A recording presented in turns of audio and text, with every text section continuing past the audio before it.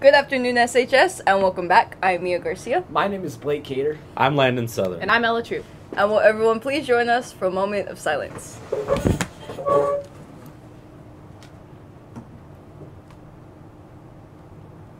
And now Blake will lead us in the pledges.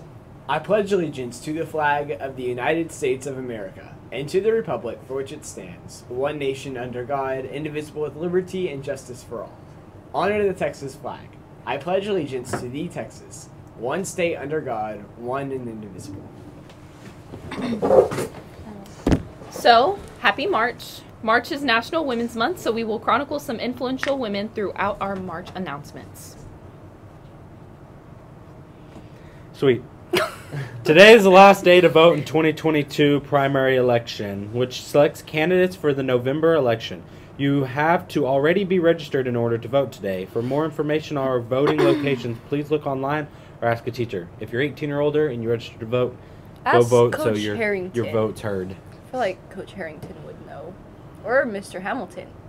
Probably Mr. Hamilton.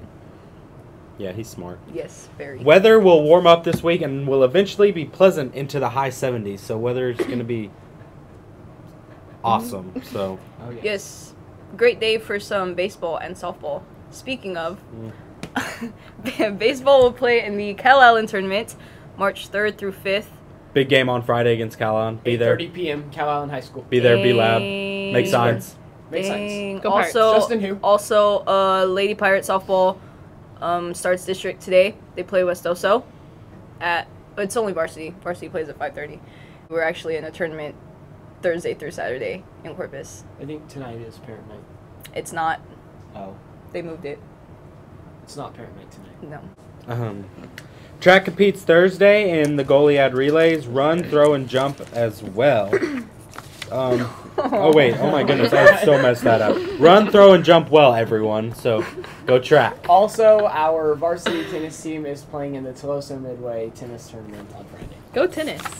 And congratulations to Well- Sinton High School's academic decathlon team. I'm on that team. I'm going to be bragging about us for a little bit. We went to state in Frisco February 25th through 27th, and we earned third place um, with their with our third place finish, and we totaled 52 medals. The team was awarded a bronze plaque, and each member received a $600 college scholarship. In addition, for the top overall scores, Megal earned Megal Patel earned a six hundred dollars scholarship. I earned a fifteen hundred dollars scholarship, and Will Hauser was the recipient of a two thousand dollars scholarship. All right, six thousand. Two thousand dollars scholarship individually, plus we each get six hundred dollars for the team scores. But I heard you say Mego got a six thousand. no Oh, 600. Okay, just clarifying. I thought I heard six hundred. 6,000. Oh my Yes. bad. Go Okay. Meg. We also took second place in the super quiz category. Uh, members are Ella Troop, Megal Patel, Pal Patel, Will Hauser, Adam Garcia, Stephanie Martinez, Amaris Fernandez, and Ashley Gonzalez alternates. Some individual results I earned first in interview, second in math for the honors category. First, oh, you tied for second. yes, I tied for second in math. First in much? economics, third music, second art, and team top honor score, second overall honors medal, and the fifteen hundred dollars scholarship. Um, Megal earned first in speech, second in math. He tied me. Uh, fifth overall in honors medal and a five hundred dollars scholarship. Powell got second in speech, second in math, and then in the scholastic category, will earn second essay, second speech, first interview, first science, second econ, first music, first lang and lit, first art, first social science. And the team top scholastic score, as well as first overall scholastic medal and 2000 scholarship. Adam Garcia in the scholastic category earned first speech. A Stephanie Martinez in the varsity, third econ, third music, third lang and lit. And then Amaris Fernandez, varsity, third math, first econ, third art, top team varsity score. And the coaches are Paul Brown, Cheyenne Garcia. I don't know her new last name, how to pronounce it. And Where? where, where, where, Where? where, and Marty Garza. okay. Anywho, Anywho, Blake, you want to take that? Sure.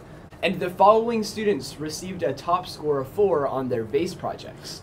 Oria Munoz, Pau Patel, Will Hauser, Emily Revilla, Mia Vigil, Ella Gomez, Mariah Zapata, um, and then Oria Munoz and Will Hauser made a perfect 60 on some of their artwork. Wow. Will Hauser is advancing the state. So Okay. William. Go, Will. Good job. Also, just a reminder that all juniors will be taking the SAT test tomorrow at 8 a.m. March 2nd on the high school campus. The purpose of the SAT is to measure a high school student's readiness for college and provide colleges with one common data point that can be used to compare all applicants. Doing well on the SAT helps you get more scholarship money and also improves your uh, chances of getting into the college that you want to attend.